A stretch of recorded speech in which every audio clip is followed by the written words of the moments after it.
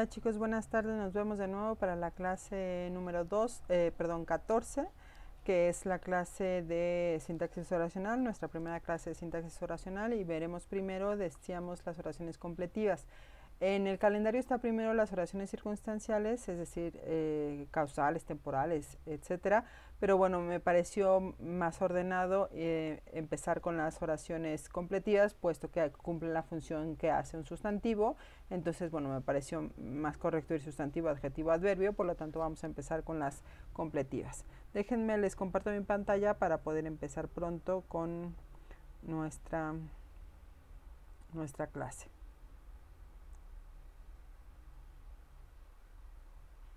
Me parece que ya todos estamos viendo, bueno, la última hoja, pero ahorita me regreso lo más rápido que pueda para poder empezar nuestra clase.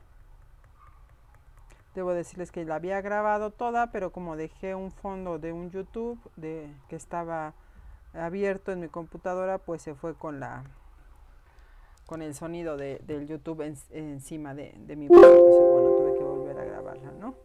Pero bien, aquí ya está, la, la videoclase número 14, sintaxis de oraciones subordinadas y vamos a empezar, como decíamos, con las completivas.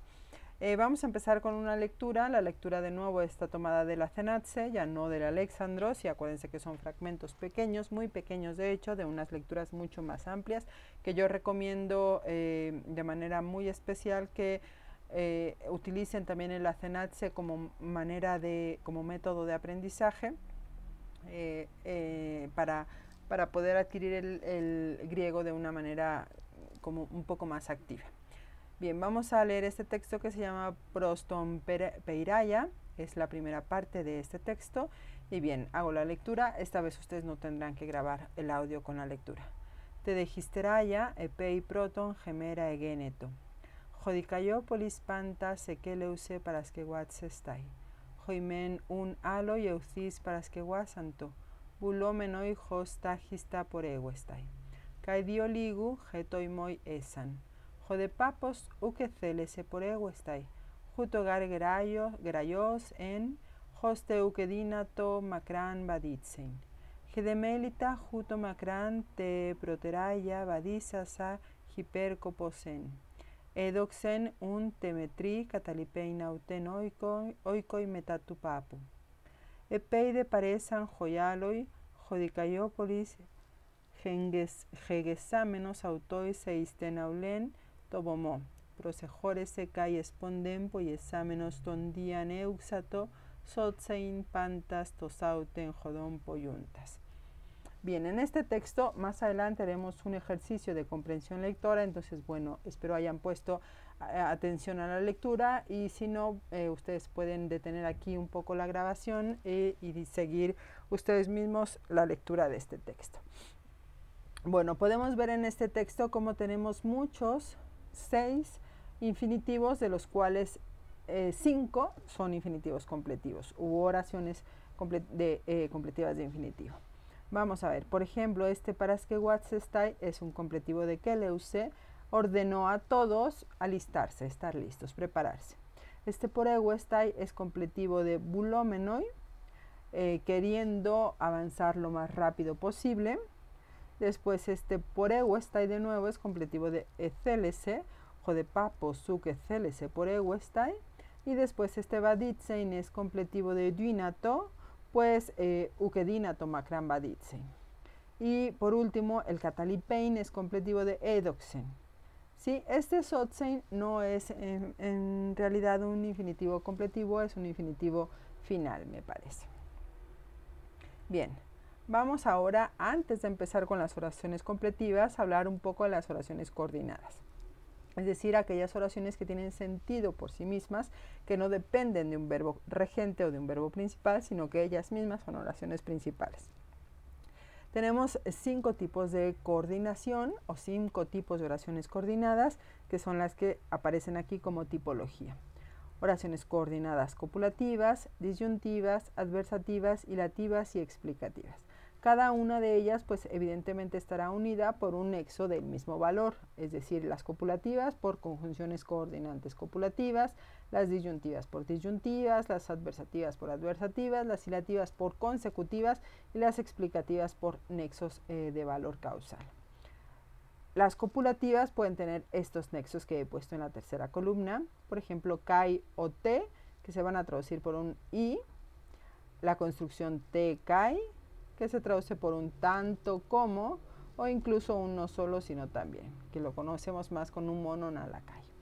Después mende, que es esta para taxis, que nos ha salido mucho, y que se traduce por un lado, por el otro, mientras no sé qué, no sé qué, no sé qué, no sé. O incluso lo dejamos introducir, pero sabiendo que hay esta relación de parataxis en el texto. Las disyuntivas, sobre todo la disyunción E, que equivale a nuestra disyunción O, y luego estas también en parataxis o en correlación EE, e, ETO, E, EITE, EITE, que va a ser O, O o un YA, YA. Las adversativas podemos tener estos nexos a la, de, men con eta, mentoi, kaitoi. Más, pero, sino, no obstante, sin embargo, en cambio, por el contrario, etc. Ya los hemos estado traduciendo, quizá más estas dos, menos men, mentoi y kaitoi, pero tenerlas presentes que también funcionan como nexos eh, coordinantes adversativos. La ilativa va a tener estas posibles eh, conjunciones, un, ukun, de, toinin, ara, y estos posibles valores pues, pues bien, así pues, luego, por consiguiente, y en realidad el único matiz es seguir hilando la secuencia de acciones, la conversación, etc. Y la explicativa que tenía, decíamos tiene un valor causal, su nexo es gar, es coordinante y significa porque, pues, etc. Bien, ahora sí ya vamos eh, como tal con la subordinación. las oraciones subordinadas son aquellas que no tienen sentido por sí mismas y como su nombre lo indica, dependen de un verbo regente o principal al que matizan y sobre todo complementan. Hay tres grandes tipos de subordinación y se clasifican de acuerdo a la equivalencia funcional con estas tres clases de palabras, sustantivo, adjetivo y adverbio. Las de sustantivo se llaman sustantivas o también completivas. Las de adjetivo, pues adjetivas o también de relativo. Y las de eh, adverbio se llaman adverbiales y también circunstanciales. Bien, hoy vamos a ver estas nada más, pero voy a explicar esta tabla para que tengamos presente los tres tipos de oraciones subordinadas. Las sustantivas cumplen la función de un sustantivo, por lo tanto, importantísimo, pueden cumplir la función de sujeto y más comúnmente la función de objeto directo, pero no solamente son objeto directo, sí pueden cumplir la función de sujeto en tanto que suponen o eh, funcionan de la misma manera que un sustantivo. Bueno, vamos a tener eh, sustantivas conjuntivas y no conjuntivas. Más adelante lo explicaré. Luego las adjetivas son introducidas por evidentemente pronombres adjetivos, perdón, relativos, eso ya lo sabíamos, y equivalen a un adjetivo extendido en una oración. Por lo tanto, va a modificar a un antecedente y bueno, se conocen como oraciones de relativo. Y las circunstanciales indican, como su nombre lo dice, las circunstancias en que se desarrolló la acción de la oración principal. Algo así como un adverbio extendido en una oración. Y dependiendo de su significado se clasifican en todas estas. Causales, pues, porque, ya que, luego que. Temporales, cuando, después que, luego que. Finales, para, consecutivas de modo que, de tal suerte que, de manera que, comparativas como y condicionales si, concesivas aunque. Esas serían las conjunciones que usamos en español para este tipo de subordinadas circunstanciales. Bien, ahora sí vamos con las completivas, que ya es nuestro tema de esta sesión. Decíamos que vamos a tener dos grandes grupos de oraciones eh, completivas. Aquellas que se llaman conjuntivas y se llaman así evidentemente porque son introducidas por una conjunción. ¿Sí? Y aquellas no conjuntivas, es decir, aquellas que están introducidas por otros elementos pero no llevan una conjunción. Bien, estas no conjuntivas pueden ser sustantivas de infinitivo concertado o no concertado, de participio o interrogativas indirectas. ¿Sí? De nuevo, hay dentro de las completivas que cumplen la función de sujeto u objeto directo, conjuntivas que están introducidas por alguna de estas conjunciones, joti, jos, jopos o me, y todas estas conjunciones se pueden traducir por un simple que, o no conjuntivas, es decir, no están introducidas por conjunción alguna, y dentro de esas tendríamos las de infinitivo, de participio o las interrogativas indirectas. Bien, vamos al esquema general de conjuntivas. Están regidas por verbos de decir o de sentimiento, verbos que indican preocupación o cuidado o verbos de temor. Importante, verbos de temor siempre la conjunción va a ser me. Y si está negada va a ser meu. Ahorita explico por qué me funciona como conjunción, ¿ok? Y su verbo va a ir en subjuntivo. Las que indican preocupación o cuidado, siempre su conjunción va a ser hopos. Si está negada, hopos me. Y su verbo usualmente va en futuro. Y las de verbos de decir o de sentimiento, sus conjunciones pueden ser estas dos. Por eso van juntas completivas de hos y hoti, porque dependen del mismo tipo de verbos. Y eh, bueno, tenemos estas dos. Hoti se utiliza como conjunción para un hecho cierto y comprobado, y hos para un hecho dudoso o expresar la opinión de alguien. Su verbo es indicativo o en optativo oblicuo para ambas y la negación es u. Lo vamos a ver con ejemplos. Vamos pues con estas completivas de hos y hoti. Los verbos de decir excepto femi, que lo vimos desde que vimos verbos en mi sin reduplicación, rigen una oración completiva, introducida por hoti o por hos. Todos los verbos de decir y los verbos de sentimiento rigen oración completiva de hoti o de hos, excepto femi. Femi siempre va a regir infinitivo, ya lo habíamos dicho. Bien. Eh, Joti lo usamos para un hecho cierto y comprobado y Jos para un hecho dudoso o la opinión de alguien. También con verbos de sentimiento como aganacteo, irritarse, jairo, alegrarse, zaumatzo, sorprenderse. Ejemplos. Jodespotes seipen, joti jodulos, prostenagoran ergeto. Aquí tenemos un verbo de lengua o de decir, que es eipen y su completiva, que es toda la que está en el corchete, entre los corchetes, es la completiva de Joti. Por lo tanto, estamos hablando de un hecho cierto y comprobado. Jodespote seipen jotijodulos prosten agoran ergeto. El amo dijo que el esclavo iba hacia el ágora. Es un hecho comprobado. Bien, dentro de este tipo de oraciones vamos a dar una, un matiz, una irregularidad o excepción o no sé. Algunas veces el sujeto de la oración subordinada puede aparecer delante de la conjunción en caso acusativo, ese, este, tonsocrate. Es lo que se conoce como prolepsis o anticipación. Entonces, dentro de estas completivas de Joti puede darse una prolepsis o anticipación, que es que antes de la conjunción ya nos aparezca el sujeto de la oración subordinada y en acusativo. ¿Sí? Y en acusativo por atracción o por responder a el verbo regente como un objeto directo, puesto que toda la completiva funciona como objeto directo. Bien, entonces tendríamos oida ton Socrate, jotisofos estin. Sé que Sócrates es sabio. Pese a que aquí aparece antes y en acusativo, nosotros entendemos que es una prolepsis y por lo tanto en nuestra traducción metemos todo a la oración eh, subordinada completiva. Y por lo tanto sé que Joti, Sócrates es sabio. ¿sí? Y lo concordamos. Bien. Nada más, como nota, acuérdense, Joti, un hecho cierto y comprobado, como el hecho de que Sócrates es sabio, y Jos, un hecho dudoso. Bien. Seguimos ahora con las de me y Jopos. Estas completivas con me, vamos a empezar con las de me, acuérdense, Jopos con verbos de precaución, cuidado, preocupación, y me con verbos de temor. Esa es una gran diferencia. Entonces, estas en me surgen de antiguas construcciones, aquí no son conjunciones, construcciones para tácticas, en las cuales una oración se ponía al lado de otra, es decir, oraciones yuxtapuestas. Por ejemplo, deido, una oración, y luego la otra me eceles, sin ni siquiera una coma, se ponían junto, al lado una de otra. Deido me ecel, elces, y aquí esto es, tengo miedo, deido, no vengas. Tengo miedo, no vengas. En español evidentemente le ponemos una coma. Tengo miedo, no vengas. Y esta construcción para táctica yuxtapuesta pasa a tengo miedo de que vengas. Por lo tanto, el me se transforma en una conjunción.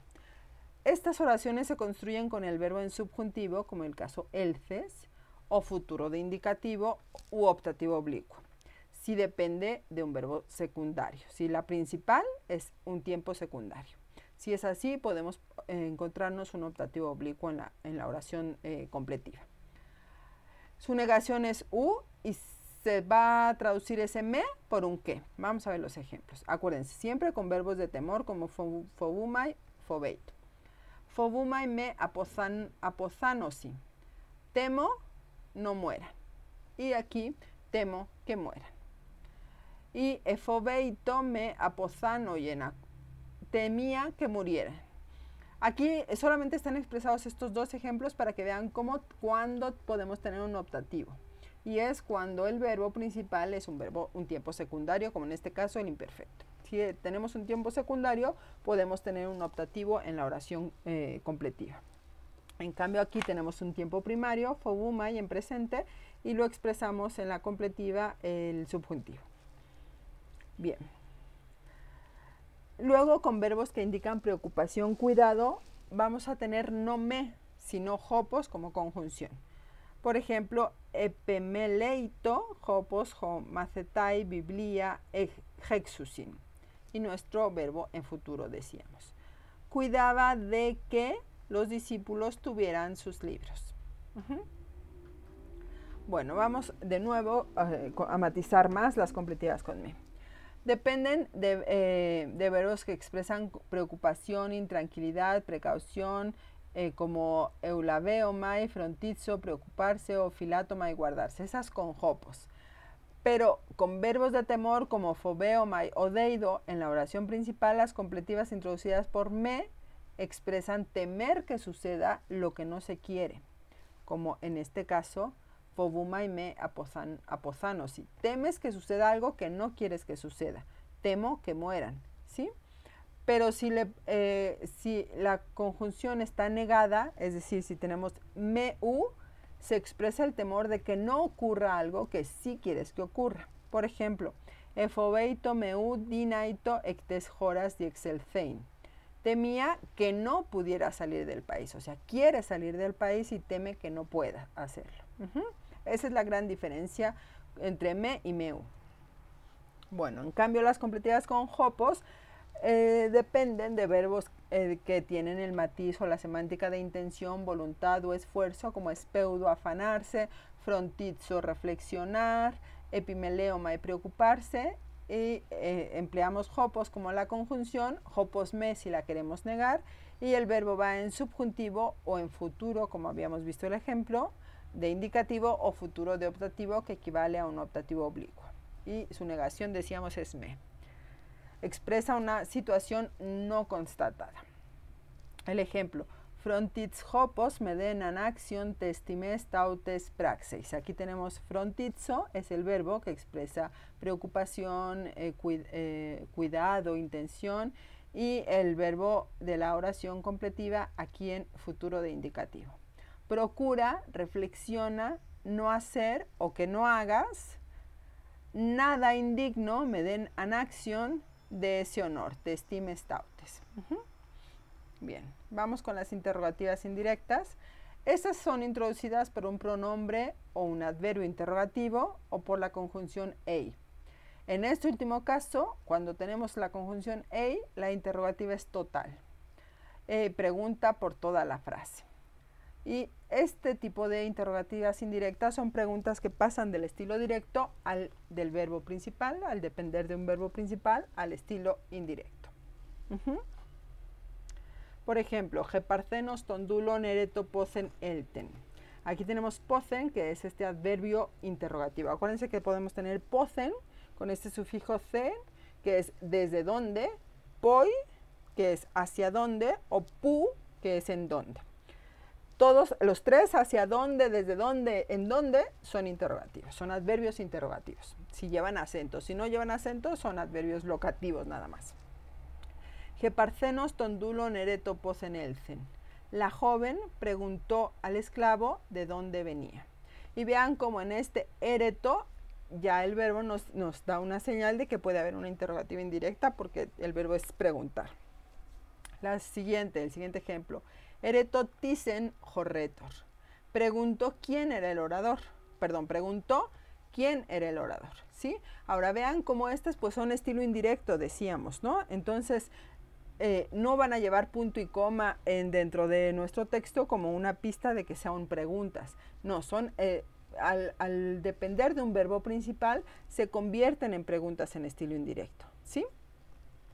Bueno, ahora, de nuevo, sobre estas interrogativas va, hay otra clasificación según el contenido de la pregunta y según el modo en que se pregunta. Según el contenido podemos preguntar por todo lo que por todo de un asunto, queremos saber todo sobre un asunto o una parte de alguna información. Entonces, si queremos saber todo, pues serán totales. Son interrogativas indirectas totales. Y vamos a utilizar ei o poteron. Por ejemplo, eroto ei alecestuto estin. Pregunto si esto es verdadero. En cambio, podemos eh, utilizar eh, o querer preguntar solo algo y entonces serán interrogativas indirectas parciales. Y estas parciales son las que van a estar introducidas por adverbios interrogativos como posen, pos, poi, pu o por pronombres interrogativos como tis. Por ejemplo, erotó pos ejeis. Pregunto cómo estás. Y según el modo de preguntar pueden ser simples o dobles. Simples solamente preguntas una cosa, dobles preguntas algo con más elementos. Simple, serototisei, pregunto quién eres. Doble con dos miembros y son estas que decíamos en correlación ei, e, poteron, e, eite, eite. Erotó, poteron, astenés, e, higiainés. Pregunto si está san, débil o sano. Aquí tenemos otro ejemplo de una interrogativa indirecta doble. Legemoi, poteron, xenosei, eu, o legemoi, Eixenosei EU. Cualquiera de los dos, o uno u otro. Aquí tenemos Poteron, E o EI, E. ¿Sí? Dime si eres extranjero o no. Poteron, o sea, estos dos los traducen por un sí. Poteron es acaso. También lo podemos traducir así. Dime, ¿acaso eres extranjero o no? Dime si eres extranjero o no. Bien, vamos con las completivas de infinitivo. Se emplean con verbos de percepción sensorial o intelectual, de lengua, de opinión, de voluntad o de mandato.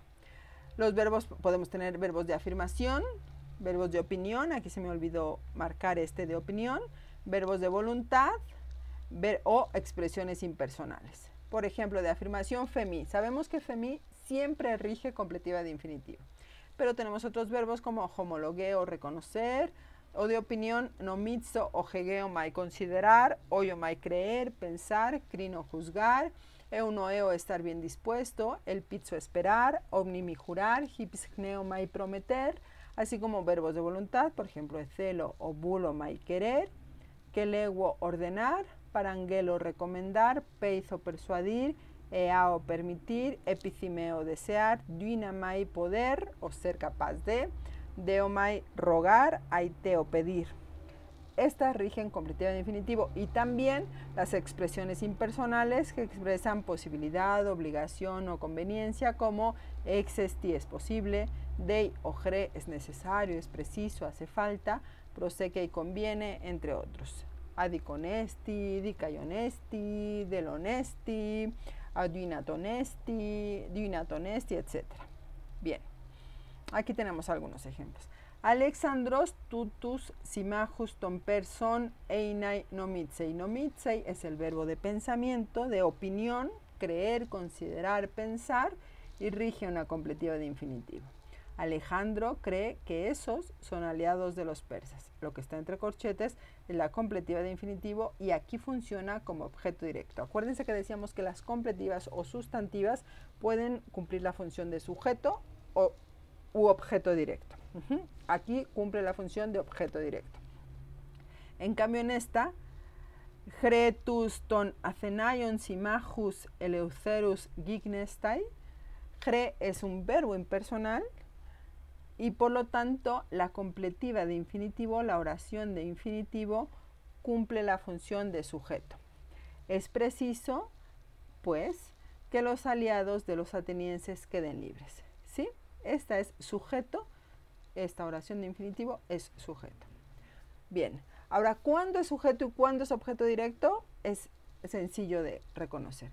Cuando tenemos la... Ah, depende de ya sea verbos impersonales u expresiones impersonales, va a funcionar como sujeto.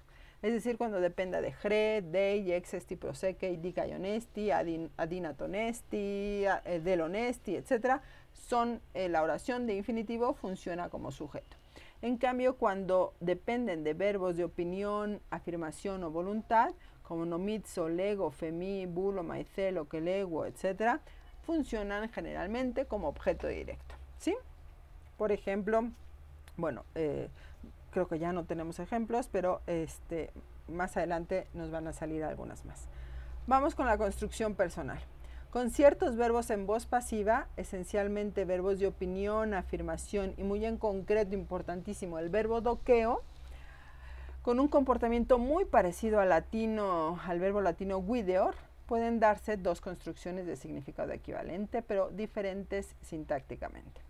En una que se llama impersonal, el verbo principal se expresa en tercera persona el sujeto del infinitivo aparece en acusativo y constituye una oración normal de infinitivo que funciona como sujeto. Aquí está. Esta es la construcción personal del impersonal.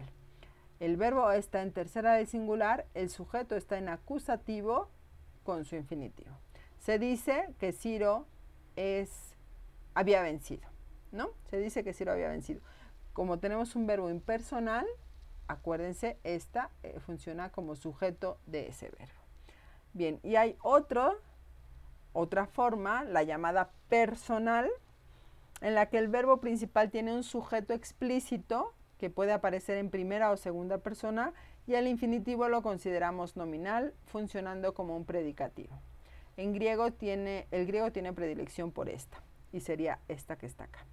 Kiros en nominativo, el egeto ni que hay en infinitivo como forma nominal como un predicativo. En ambos casos la traducción es, se decía que Ciro había vencido. Bien, con el verbo doqueo, importantísimo, nos ha salido en los textos, lo hemos trabajado medianamente bien, pero bueno, importante. Siempre la recomendación es traducirlo en tercera persona del singular, seguida de una oración completiva. Esta, decíamos, es la construcción esta, la impersonal, y esta es la construcción personal, esta. La recomendación con doqueo es traducirlo siempre en tercera del singular, parece, y si tiene un moi, un soy, un autois, lo que sea, me parece, te parece, les parece, etc. Por ejemplo, en el texto de la comprensión lectora viene un edoxetemetri, le parece a la madre, ajá, y siempre se eh, recomienda traducir el doqueo por tercera persona del singular. Aquí sería, me parece que te equivocas, en ambos, ¿no? Aquí como construcción personal del impersonal y aquí como una construcción personal. Bien, vamos con las completivas del participio. Funcionan igual que las completivas de infinitivo, pero aquí se completan con un participio, con un verbo en participio designan una situación constatada y sobre todo simultánea a la situación del verbo principal, a la situación descrita en el verbo regente. Su negación es U. Por ejemplo, deixo es el verbo principal, demostraré. Polon, thanaton, ug, genos, ont, acción. Este on es el onta, es el participio, es el, lo que completa.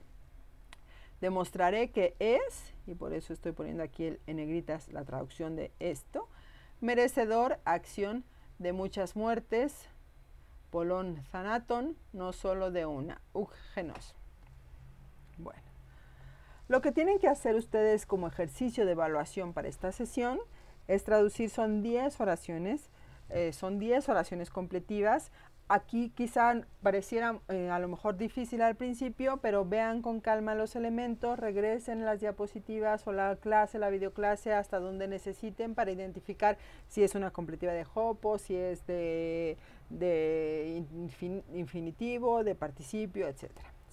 Si es muy larga como esta primera, proegore y autón, ceramenes, legon, jos, gre, peiz, estaila, kedaimonio, iskaita, teige, perairein, pues tendrá varias oraciones, ¿no? Por ejemplo, aquí tenemos un proegore, que es un verbo principal, que está completado con un participio, luego tenemos un host, luego un cre, un impersonal, luego un infinitivo, entonces, bueno, aquí sí será un poco más difícil, pero me parece que es la, la única la primera es la única larga y un poco compleja. Las demás, la verdad, son muy sencillas y son generalmente un tipo de oración. Aquí sí hay varias, varios tipos de oraciones eh, completivas.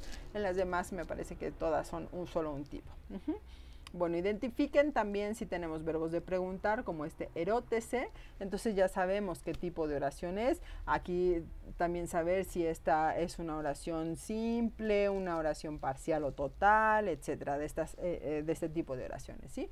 Me tienen que no solamente traducir, sino indicar qué tipo de completiva es. Bien, entonces son estas 10 10 eh, oraciones que evidentemente habrá de, de todo tipo acuérdense, también identifiquen si son expresiones impersonales, etcétera, y luego una comprensión lectora sobre el texto que ya habíamos leído, que es Proston Peiraya, y de este texto me tienen que contestar por qué el abuelo no quería prepararse o alistarse, y la segunda pregunta es qué le pareció bien a la madre de Melita hacer. Bueno, eso sería todo. Recuerden pues darle captura de pantalla a sus eh, ejercicios y subirlos en, esta, en este fin de semana de ser posible para que eh, podamos dar alguna retroalimentación el jueves. Eh, y bueno, eh, si no, acuérdense nada más, no nos vamos a ir de vacaciones sin haber terminado todas las, todas las oraciones, todas las sintaxis oracional. Bueno, la bibliografía es la misma, me faltó poner el libro 3 de Lourdes, el, Iniciación al Griego 3, que ahí viene también importante eh, todo el apartado de sintaxis oracional y del cual consulté y puse algunas de las explicaciones teóricas. Eh, y bueno, muy em, importante también los esquemas del cuadernillo de griego 2, algunas eh, especificaciones, algunas particularidades las tomé, evidentemente las consulté en la gramática de Cambridge. Y bueno, el texto de la Cenatse, eh, me parece que esta vez no, ni Goñi ni Paniki estuvieron ahora consultados, pero bueno, siempre dejo toda la bibliografía, salvo ahora aquí si me faltó la del libro 3 de Lourdes Rojas. Bueno chicos, pues es todo. Hagan sus actividades, eh, vean la clase, no solamente evidentemente la presentación, sino o las diapositivas del archivo que les subo de PowerPoint, sino que vean las sesiones eh, y bueno, eh, hagan su tarea con cuidado. Que estén muy bien. Hasta luego.